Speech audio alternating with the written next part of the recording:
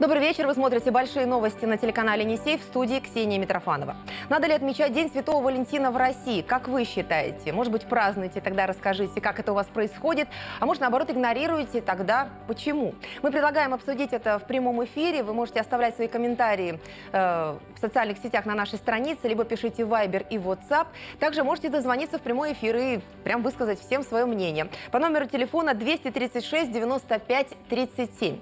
Ну а в конце выпуска мы подведем итог и подарим самому интересному нашему телезрителю за его отзыв э, такое приглашение в Театр оперы и балета на спектакль «Пиковая дама». Но сейчас кратко обзор сегодняшнего дня.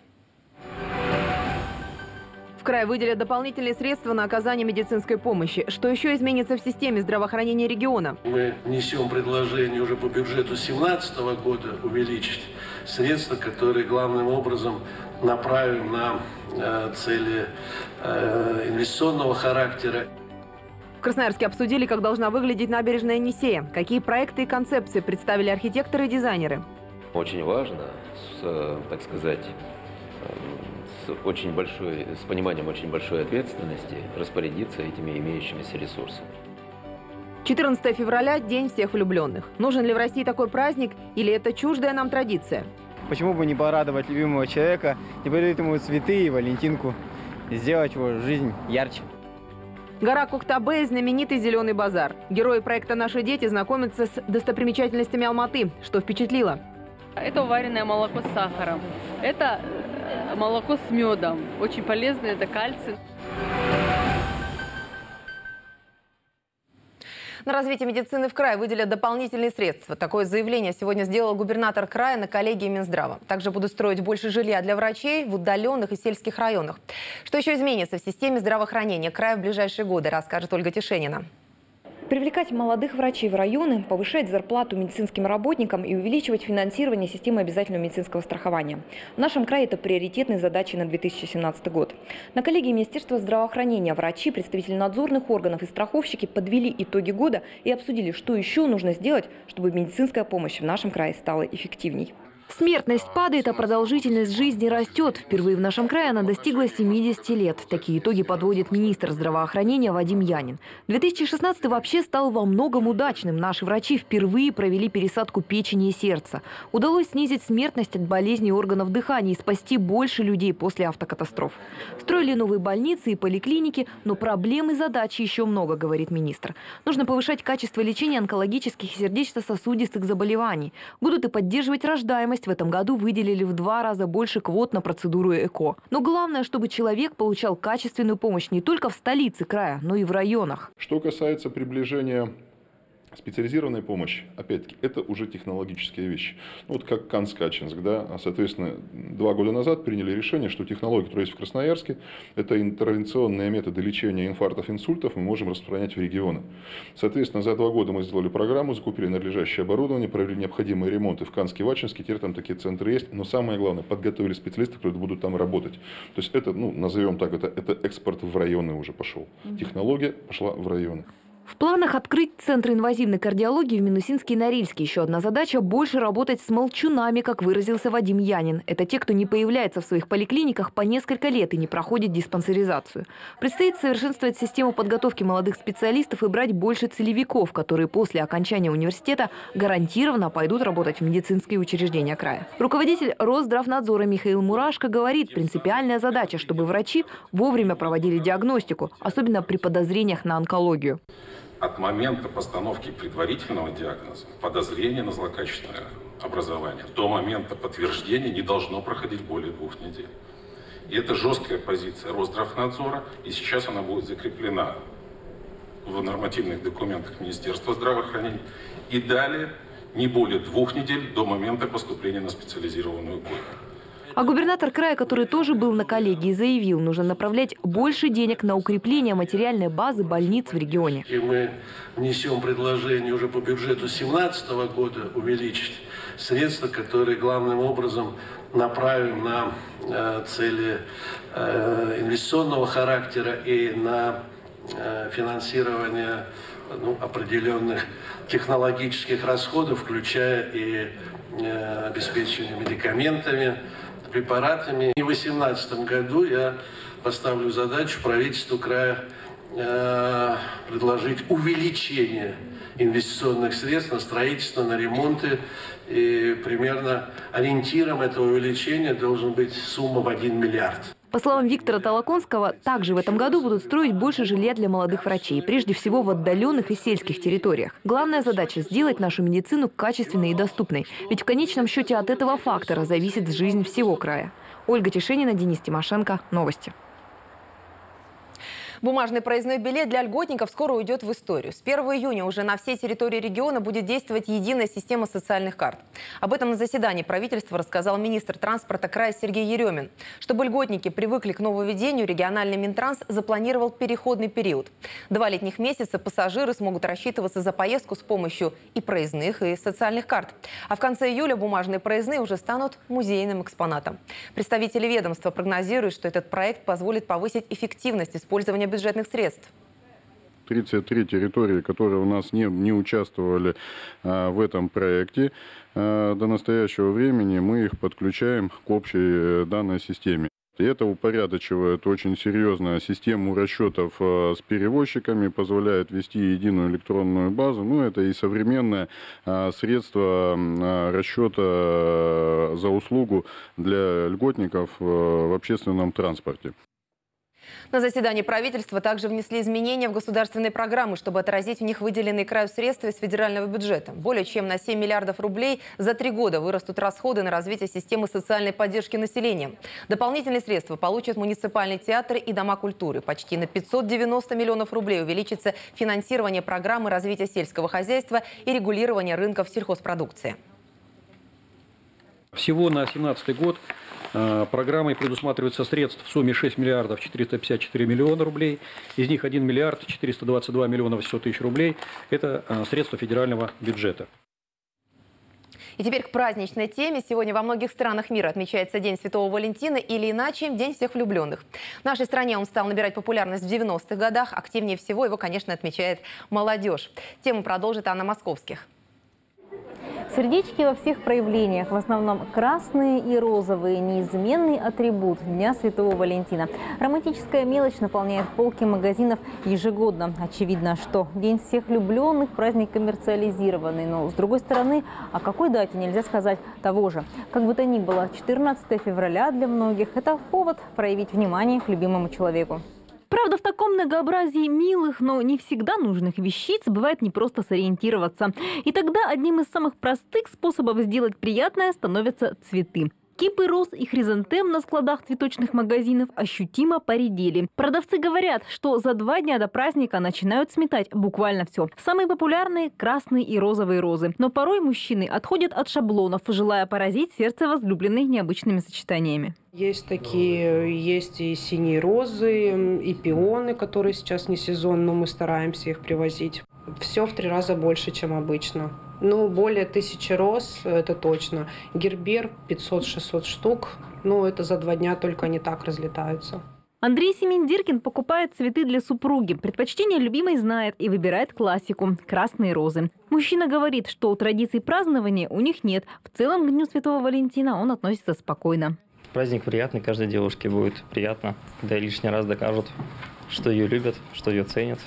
Поэтому праздник лишним не будет. День Святого Валентина – праздник неофициальный. К нам он пришел из-за рубежа в 90-е и многим полюбился. У нас этот праздник у моих близких отмечается. Мне даже с утра все уже поздравляют. И мама, и все-все-все. Ну и я всех тоже. Поэтому люблю этот праздник. Хорошо, что он к нам пришел. Ну я обязательно близким людям смс кидаю с теплыми словами. Вот так и отмечаем. Это католический праздник, но добрая традиция. Почему бы не порадовать любимого человека, не подарить ему цветы и валентинку, сделать его жизнь ярче. Если миряне в основном благосклонно относятся к 14 февраля, то служители церкви повальное увлечение этим праздником не одобряют. И напоминают, достоверных исторических сведений о благословлявшем влюбленных Святом Валентине нет. Ну, есть хорошие привычки, а есть привычки, которые раскручивают с коммерческой целью. И мы это все прекрасно понимаем. Валентинки, прочее, прочее, прочее. Это хороший такой бизнес. У нас есть православный праздник, День семьи, любви и верности, когда мы вспоминаем наших православных святых, русских святых, Петра и Февронию. И а в этот праздник мы говорим больше не просто о влюбленности, как вот ну, вспышке, да, а серьезном, долговечном чувстве любви. День семьи, любви и верности в России отмечают с 2008 года. Тогда его учредили в том числе как альтернативу Валентинову дню. А теперь он уже тоже практически всенародно любимый. Кстати, в ЗАГСах не отмечают наплыва желающих сочетаться браком именно в День влюбленных. Молодожены не верят в силу Святого Валентина, но их по-прежнему манит магия цифр. В красивую дату 17 февраля 2017 только в Доме семейных торжеств свадьбу сыграют три десятка пар. Анна Московских, Максим Галат. Новости. И мы продолжим обсуждать эту тему в прямом эфире. Как относятся ко Дню Святого Валентина наши телезрители. Сегодня их комментарий изучал Ян Эрмешов, он сейчас в студии. Ян, добрый вечер. Ну вот сегодня в редакции шутили все, что тебе досталась роль Купидона. Ну, вопрос не могу такой не задать. Где же соответствующий костюм? А, добрый вечер. А, как-то, Ксения, сомнительный комплимент. А, ну, во-первых, напомню, у нас дресс-код, а во-вторых, лук и стрелы – это не мое. Вот. Прижился ли праздник День Святого Валентина? Нужен ли он? Можете рассказать свои интересные истории. Если вы празднуете сегодня День Святого Валентина, рассказывайте интересные истории. Ждем ваших сообщений. WhatsApp и Viber, телефон единый 8 933 336 7172. Также у нас есть телефон прямого эфира 236 95 37, код Красноярска 300 391. Звоните, высказывайте свое мнение. Самое оригинальное, самое интересное, самое обстоятельное мнение сегодняшнего дня. Мы вот такой вот подарок приготовили. Это пригласительный на двоих а, в Театр оперы и балета на «Пиковую даму» на 18 февраля на субботу. Можно сходить в нулевой ряд, кстати. Ну, а теперь к вашим сообщениям, которые мы сегодня собрали. А, Евгения пишет. Я думаю, что праздник Святого Валентина уже прижился в России. И как приятно поздравить друзей, коллег, родных, близких маленьким сюрпризом в виде сердечка ангелочка э, мелочь, а приятно. Ну, действительно, почему бы лишний раз э, не сказать друг другу о любви. Дмитрий пишет очень серьезно.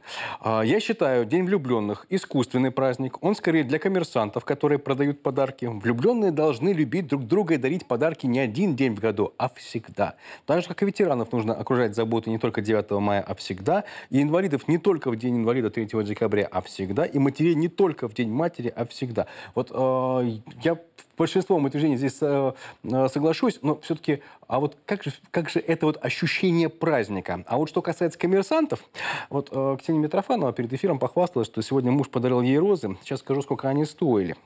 А, наши коллеги из интернет-издания сегодня обзвонили цветочные салоны и выяснили, что сегодня мужчины чаще всего покупали розы в качестве подарка. В основном два вида букетов по 15 штук э, по 2000 рублей и 3-5 роз э, стоимостью в полтысячи. Самый дорогой букет, который сегодня обнаружили наши коллеги, был э, стоимостью 25 тысяч. А вот а что вы подарили, если празднуете? Телефон нашего прямого эфира 236 95 37. Звоните, ждем ваших звонков.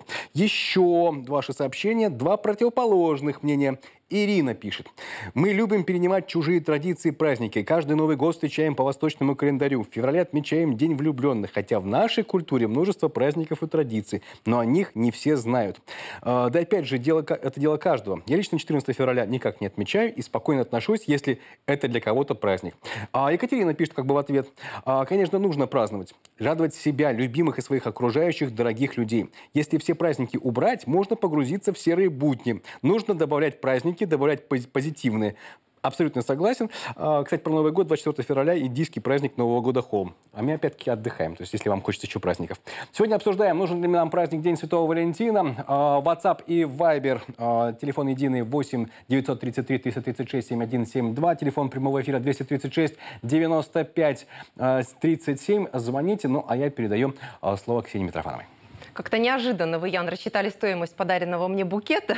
Но мы продолжим выпуск после короткой рекламы и анонса. Губернатор Виктор Толоконский поздравил красноярцев, медалистов универсиады в Алматы. Кто получил подарки из рук главы региона, расскажем далее.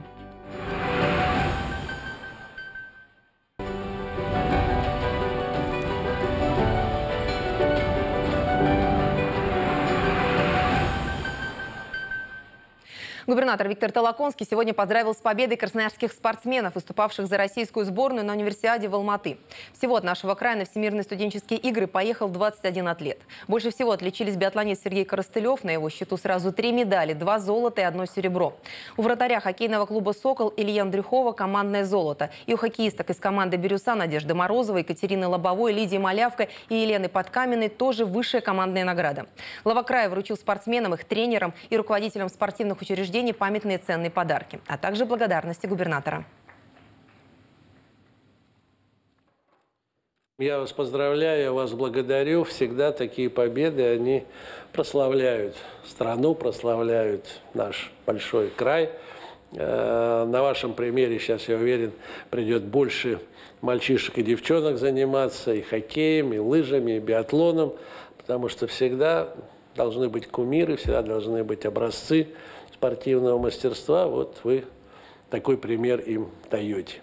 Победа, они, конечно, всегда радостные.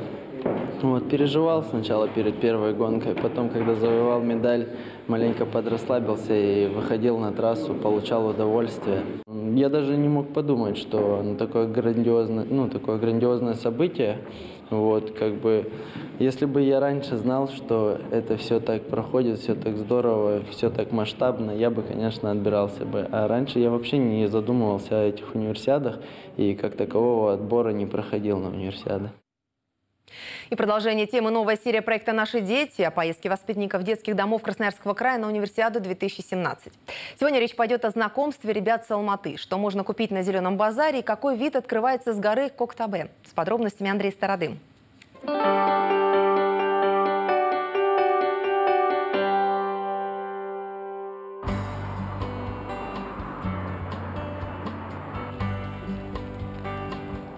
Площадь Республики – первое место, которое посетили участники проекта «Наши дети» в Алматы. Вот сейчас, как вы можете наблюдать, воспитанники детских домов Красноярского края знакомятся с историей образования независимого государства Казахстан. В результате распада СССР 16 декабря 1991 года Казахстан провозгласил свою независимость. В честь этого события на площади установили стеллу высотой 28 метров, на вершине которой стоит золотой человек. Это образ древнего правителя. А у его ног расположился символ государства – крылатый барс. Воспитанники детских домов Красноярского края, можно сказать, в буквальном смысле прикоснулись к истории. У подножия стелы находится книга исполнения желаний и отпечаток руки президента Казахстана Нурсултана Назарбаева считается, если приложить руку к бронзовой ладони и загадать желание, то оно обязательно сбудется. С правой стороны, обратите внимание, здание венчает голубой купол. Это муниципалитет Алмалинского района города Алматы, Акимат. Всего в Алматы 8 муниципальных районов и в каждом большое количество архитектурных памятников и достопримечательностей. На автобусе участники проекта «Наши дети» добрались до особого и вкусного места. Зеленый базар – одно из любимых мест алматинцев. Здесь можно купить разнообразные продукты – мясо, колбасы, э, сыры, различные молочные продукты. Ну и, конечно же, знаменитые алматинские яблоки «Апорт». Зеленый базар на этом месте существует с 1875 года. Гостей Алматы он поражает не только яблоками, но и обширными мясными рядами. Можно здесь купить и национальные продукты из молока. Уваренные сливки без сахара. Это уваренное молоко с сахаром. Это э, молоко с медом. Очень полезное, это кальций насыщенный кальцием продукт. Ремшик сделан из молока. Такой вот кремовый цвет. Попробую на вкус. Ммм, вкус вареной сгущенки. На прилавках овощи и зелень, готовые салаты и множество народных снадобий, например, сушеные змеи и лягушки. Продавцы каждый на свой лад расхваливают и товар, и базар. Зеленый базар Алматы самый лучший базар в мире. Такой базар в мире ни в каком городе нету такой базар. Большой. Участники проекта «Наши дети» напитались остро-пряными запахами базара, а некоторые попробовали местных деликатесов. Большой, много всего разного.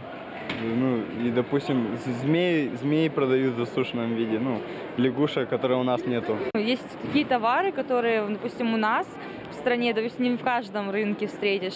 Здесь есть огромные ноги, я не знаю даже, как это высказать. То есть есть товары, которые, допустим, я даже не видела.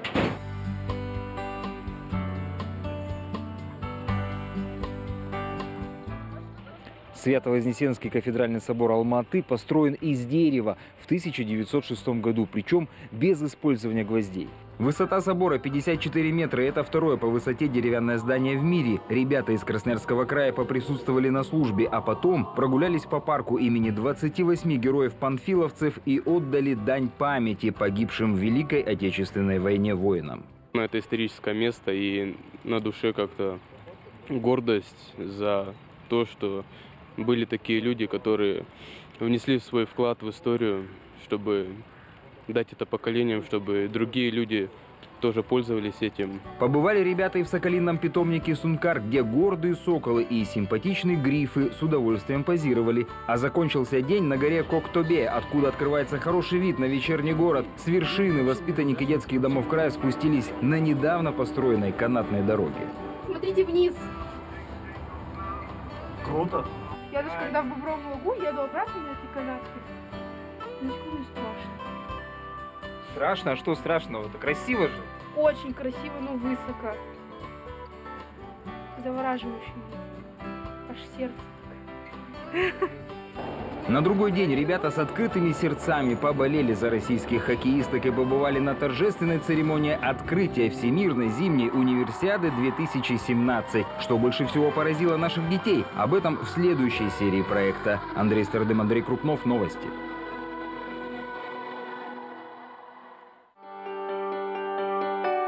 При поддержке Красцветмета. А мы продолжаем обсуждать празднование Дня Святого Валентина. Ян Рамишов по-прежнему в студии. Ян, я вот сейчас вспомнила, что когда я училась в школе, у нас даже была специальная коробка под валентинки. И вот все туда могли положить сердечко с фамилией своей пассии. И потом эти валентинки нам отдавали. Ну и, конечно, мы хвастались, у кого их получалось больше. У девушки все по вам хвастаться. Ну, а я вспоминаю, что я учился в школе в те времена, когда про День Святого Валентина вообще никто ничего не знал. А вот, а вот на работе лет 10 назад туда приходилось приходить на работу с большим пакетом валентинок. Ну, все равно, сколько бы валентинок ты не раздал, найдутся те, кто на тебя обидится, что ты их не вспомнил. А вот наш коллега Сергей Доставалов сегодня сказал, что надо уходить из всех соцсетей. Так сердечки надоели. А у меня сегодня нет валентинок, нет сердечек, но вот вместо них у меня есть пригласитель на оперу «Пиковая дама». А пригласитель достанется тем, кто, тому, кто напишет самое содержательное, самое интересное сообщение вот на сегодняшнюю тему. Нужен ли нам День Святого Валентина? Празднуете ли вы этот День Святого Валентина? Как празднуете? Может быть, вы у себя в школе э, или на работе его отмечаете. Э, номер WhatsApp и Вайбера 8 933 336 7172, номер прямого эфира 236 95 37, код Красноярска 391. А, и у нас есть вот ваше сообщение. Анна пишет. Праздник День Святого Валентина, конечно, прижился, но уже не пользуется такой популярностью, как это было раньше. За этой ситуацией я наблюдаю, работая в школе. О, кстати, о школе. А, если в начале 2000-х дети и даже, для, и даже а, взрослые были заинтересованы в ажиотаже с э, Валентином, Валентиновой почты, всем нравилось раздавать и дарить валентинки, то теперь иначе. Инициативы для проведения данного праздника со стороны детей не проявляются. Может, это потому, что у нас идет масштабная подготовка к родным праздникам. Готовится чучело масленицы, номера к 23 февраля. В общем, не до признания в любви в холодном феврале. А как же э, любовь греет? А, конечно, для влюбленных это лишний повод сказать друг другу слова любви. Это прекрасно, но придавать ему значение массовости и значимости все же не стоит. А, редактор подсказывает мне, что есть у нас телефон телефонный звонок. Э, добрый вечер, здравствуйте. Здравствуйте. А, меня хорошо слышно? Да, хорошо. Я хочу вас поздравить с новым званием, которое вам сегодня присвоили, звание Купидона. Спасибо ну большое. и с Днем Святого Валентина. Спасибо. Вас как зовут? Анна. А, Анна, а вы как относитесь к Дню Святого Валентина? Ну, как дополнительные возможности э, вручить и получить э, приятные подарки. Угу. Понятно. То есть с коммерческой точки зрения, а что сегодня получили? Ну, я получила цветы и приятные мелочи, а подарила алкоголь и горячий э, шоколад в форме сердца, поскольку любовь имеет как бы тоже две стороны, есть и горечь, есть и сладость, ну вот как-то так. Ага, понятно. А, э, а на работе у вас празднуют? Ну, э, я работаю в школе, поэтому могу сказать, что действительно сейчас в школах нет такого ажиотажа, как он был еще буквально ну, лет восемь назад. Э, сейчас отдельные классы выставляют э, коробочки, э, почтовые ящички под валентинки, э, обмениваются. Ранее это было действительно масштабно в рамках всей школы. Это ставили ящик, это Мгм. подсчитывали валентинки и победителя, кто самый любимый в школе. А Сейчас теперь, такого нет. а теперь этого нет, да? Ну вот сейчас как-то все спокойнее. Спасибо большое. Спасибо вам за ваш звонок. Напомню, телефон прямого эфира 236 95 37, код Красноярска 391. Звоните. У нас, кстати, э, теологический спор даже э, возник в сетях. Владимир пишет, э, с 1969 года День Святого Валентина не входит в литургический календарь католиков, а вот православная церковь Валентина предпочита- э, почитает в июле и августе. Так что он нам точно не чужой. Сейчас это просто праздник влюбленных вне конфессии и религии. Католики, кстати, отмечают сегодня э, Константина Первого Учителя, то есть святого Кирилла и Мефодия, простителей славян. Поздравляю всех с праздником любви. А вот Андрей отвечает, «А, притянуто за уши в православном календаре семь святых с именем Валентин, но ни один из них никакого отношения к данному празднику не имеет. А, И у нас еще, еще один телефон звонок есть, да? Здравствуйте. Алло, да. Здравствуйте. А как вас зовут? Здравствуйте, меня зовут Олеся. Олесь, а у вас как на работе, где-то в школе, может быть, там празднуют? На работе нет, а в школе сегодня сын поздравлял одноклассниц. Поздравлял. Сколько валентинок понес? Сколько он туда отнес? Восемь. На вопрос, сколько будешь поздравлять, сказал восемь, поздравлю всех, кто нравится. И, ну, как бы я одобрила. Но был один из всего класса, что как бы очень для меня странно. А как сами относитесь к Дню Святого Валентина? Прекрасно. Как, ну, как праздник. Я не знаю, мне очень нравится этот праздник. Я потому что вся такая девочка романтичная. Мгм. Спасибо вам большое за ваш звонок. Эм, Ну что ж, а, дорогие друзья, продолжаем обсуждать, нужен ли нам праздник День Святого Валентина. У нас есть подарок за самый оригинальный ответ. Это а, пригласительный на пиковую даму э, в субботу. Э, Звоните, пишите. Э, Телефоны вы видите на экранах. А сейчас я передаю слово Ксении Митрофановой. Спасибо, Ян. Но у нас не менее интересная тема. Далее в Красноярске на общественных слушаниях обсудили благоустройство левобережной набережной Енисея. В молодежном центре «Пилот» инициативные красноярцы поделились своими идеями с главой города Итхамом Макбулатовым. Подробнее об этом расскажем в следующем сюжете.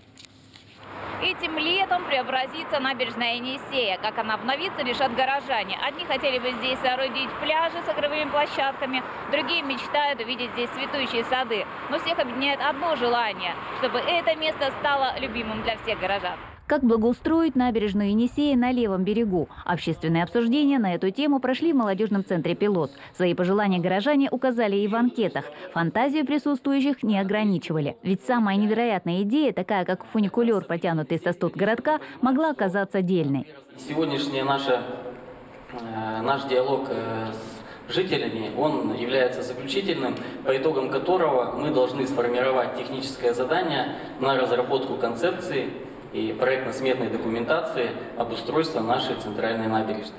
Федеральный центр окажет помощь в благоустройстве общественных пространств в регионах. В этом году и Красноярск получит необходимые средства по программе, которую поддерживает президент страны. Очень важно, с, э, так сказать, эм, с очень большой, с пониманием очень большой ответственности распорядиться этими имеющимися ресурсами. И распорядиться так, чтобы компромиссно учесть мнение большинства красноярцев. Обновленную набережную горожане представляют по-разному. Поклонники спорта хотели бы здесь зимой кататься на лыжах и коньках, а летом отдыхать на пляжах. Звучали предложения подогревать воду в Енисее, чтобы она была комфортной для купания. Набережную в районах Бантового моста, Театральной площади и Центрального парка планируют сделать доступнее для маломобильных граждан. А на Енисее горожане хотели бы видеть и речные трамвайчики. Лично мое предложение было это тактильные фонтаны, которые еще известны нашей стране со времен Петергофа. Фонтаны можно потрогать, это привлекает безумное количество детей, да, это снова эмоции, какие-то новые звуки, и это оживление пространства в любом случае. Мне хотелось бы, чтобы туда включались и непрофессиональные люди. То есть какой-то объект, который изначально спланирован так, что принять участие в его создании может любой человек, который прогуливается путем, там, не знаю, вбивания гвоздя, покраски камушка. То есть это... Набережную Енисея начнут обновлять уже в этом году. Задумки горожан планируют воплотить к осени. Поля Шарыпова, Алексей Гусев. Новости. В Красноярске открылся Сибирский фестиваль керлинга. Кто и как может принять в нем участие, расскажем далее.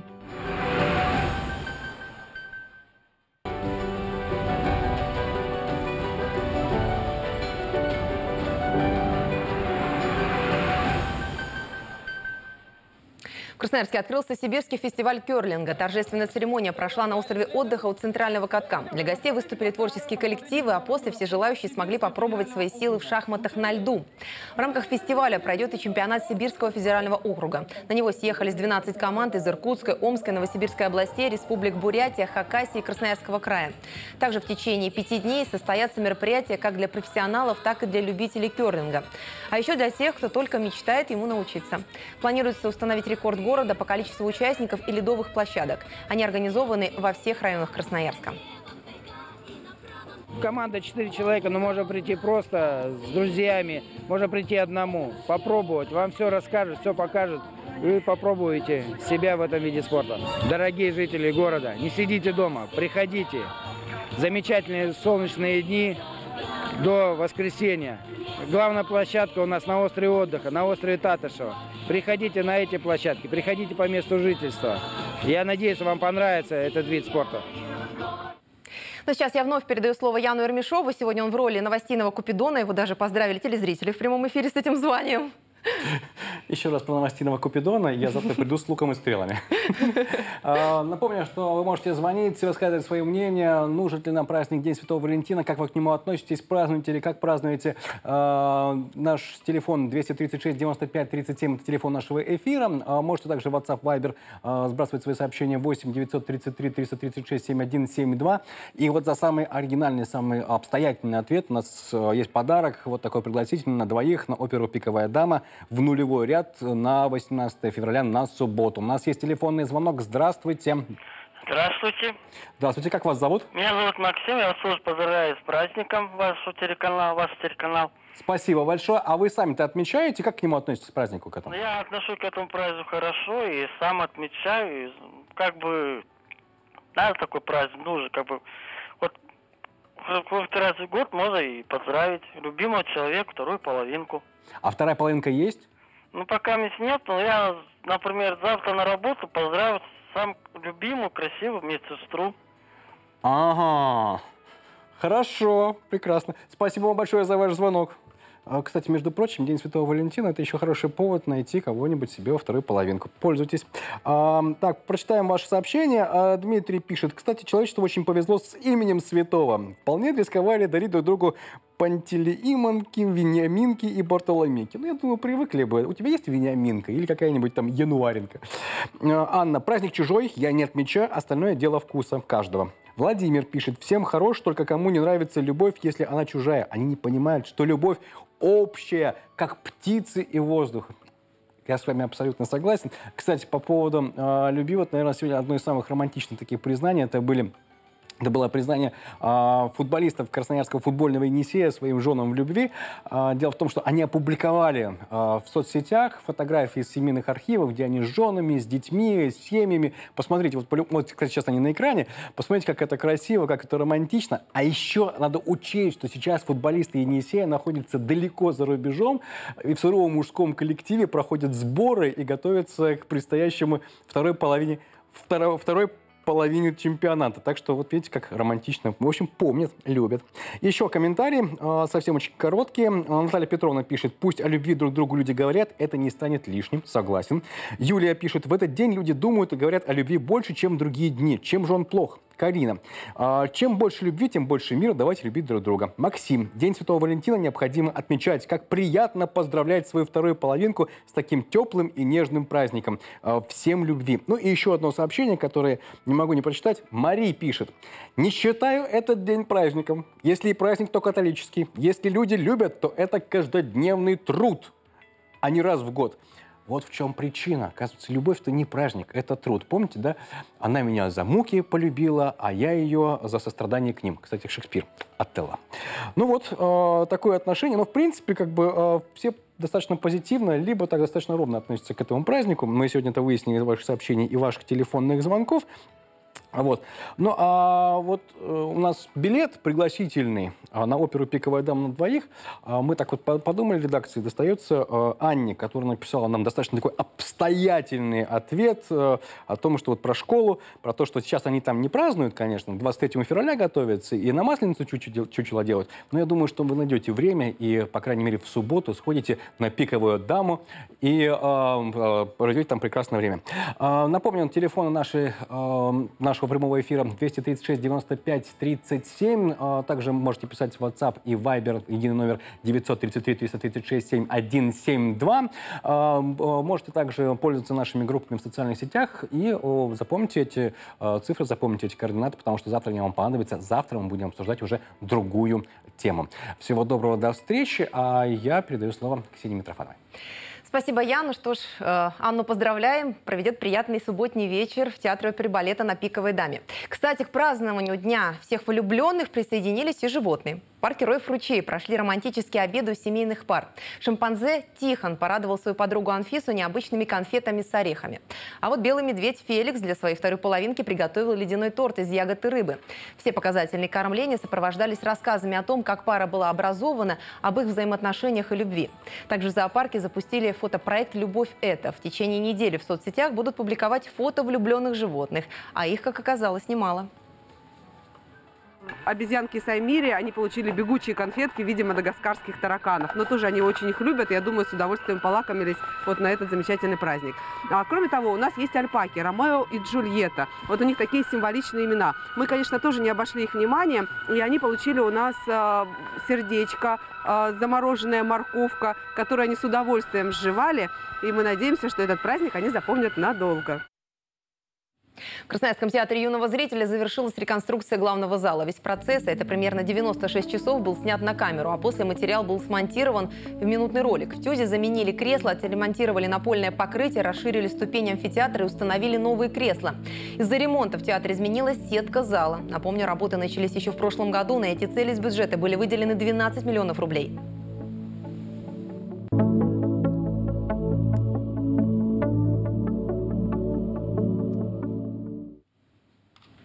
Тяжелый ли труд писателя? Об этом далее в выпуске рассуждает поэт из Лесосибирска Василий Бурягин в нашем проекте «Сибирская мудрость».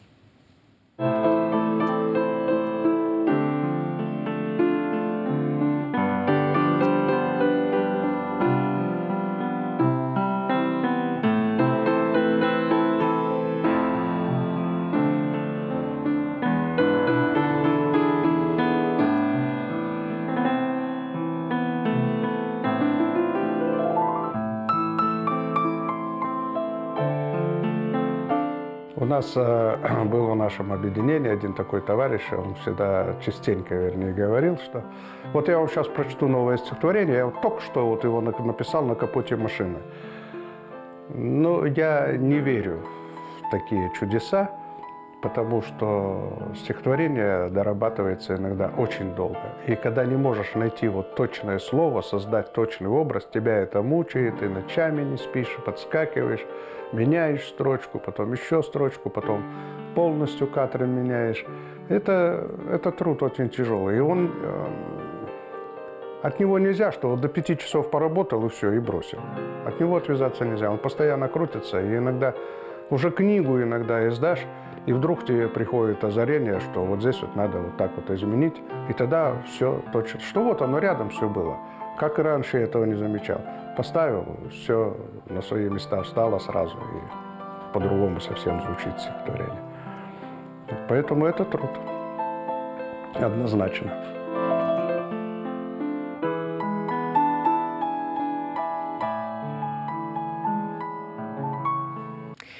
На этом наш выпуск завершен. Я еще раз поздравляю победителя Анну, которая писала комментарии про школы. И вы можете забрать свой пригласительный билет завтра на острове отдыха 10 дробь 1. Здесь находится телекомпания «Несей». Мы вас встретим и вручим ваш пригласительный билет.